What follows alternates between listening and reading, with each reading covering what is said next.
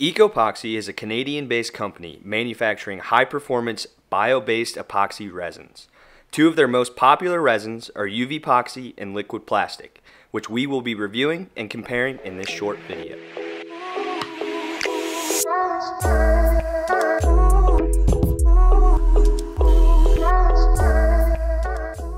UVPoxy is a coating resin made to be poured up to about one quarter inch thick.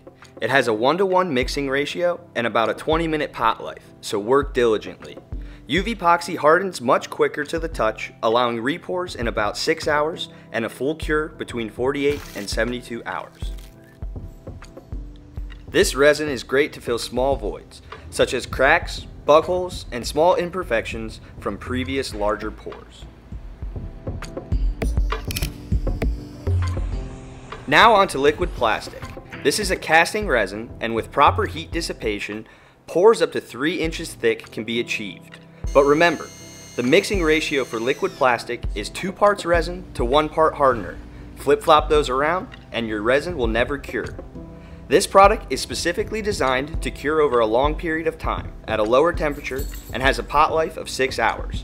Depending on the thickness of your pour, repours can be made in 12 to 36 hours and a full cure is achieved at a solid 72 hours. Both of these Ecopoxy products are bio-based, 100% non-toxic, and UV resistant.